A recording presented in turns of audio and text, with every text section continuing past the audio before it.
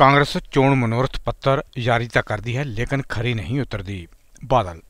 ਅੱਜ ਕਾਂਗਰਸ ਵੱਲੋਂ ਆਪਣਾ ਚੋਣ ਮਨੋਰਥ ਪੱਤਰ ਜਾਰੀ ਕੀਤਾ ਗਿਆ, ਜਿਸ ਨੂੰ ਲੈ ਕੇ ਅਕਾਲੀ ਦਲ ਵੱਲੋਂ ਕਈ ਸਵਾਲ ਖੜੇ ਕੀਤੇ ਗਏ ਹਨ।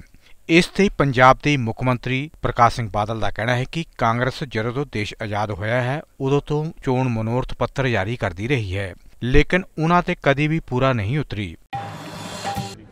ਅਰਜ਼ ਹੈ ਕਿ ਜਦੋਂ ਦਾ ਦੇਸ਼ ਆਜ਼ਾਦ ਹੋਇਆ ਹੈ, ਉਦੋਂ ਤੱਕ ਹੀ ਉਹ ਇਹ ਜਾ- ਜਾਰੀ ਕਰਦੇ ਰਹੇ सर हिंदी में हिंदी में जब से देश आज़ाद हुआ है तब से कांग्रेस पार्टी अपने चोन मैनिफेस्टो की थी लेकिन मेरा ख्याल नहीं कि उन्होंने जो चोनी चोन मैनिफेस्टो में लिखा है उस पर पूरे उतरे हों सब सब एक लोगों को वर्गलाने के लिए या लालच देने के लिए कभी कुछ लिख देते हैं। ड्रग्स को चार हफ्तों में खत्म करने की बात कही गई हाँ। है जी। ड्रग्स को चार हफ्तों के भीतर सरकार आते ही खत्म करने की बात कही आप हैं कि कोई चीज़ चार हफ्तों में ख़त्म हो सकती है। चार हफ्तों में तब जो ताप मलेरिया अखबार बीमारी होती है ना वो भी नहीं होती। जो मर्ज़ी लिख लें जी कोई ऐसा नहीं भी उनको अगर ना पूरा करें कोई सज़ा होगी। चाहिए तो ये है कि जो मैनिफेस्टो पर ना उतरे उस पार्टी को अगली दफ़ा इलेक्शन ही न लड़ाए। सर कृषि पर कर्ज कर्ज में छूट की बात कही है। क्या किसानों का सारा कर्ज माफ़ करने की बात मेरी बात सुनो। आपको मैं कहता हूँ कि कर्ज किसका है? कौन देता कर्ज उनको? किसानों को। बैंक ही देते हैं ना।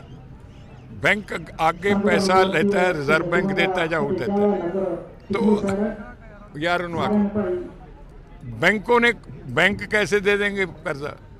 ये ठीक है कि हम कहते हैं कि हम इंटरेस्ट नहीं लेंगे।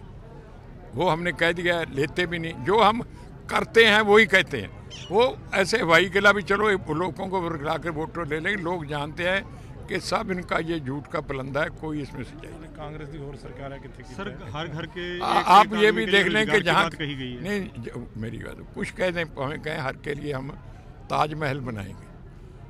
देखना है कि किसे करेंगे। जहाँ उनकी सरकारें जहाँ चल रही हैं वो बनाया उन्होंने। उनकी जहाँ सरकारें चला लें जो उनके पास करें।